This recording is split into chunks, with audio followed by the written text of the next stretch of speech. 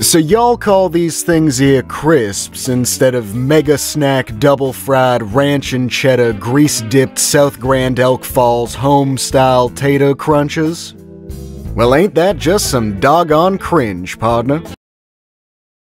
So you call these things here chips instead of crispity, crunchy, munchy, cracker jack, snacker, nibbler, snap, crack and pop, Westpool, Chestershire, Shire, Queen's lovely, jubbly delights?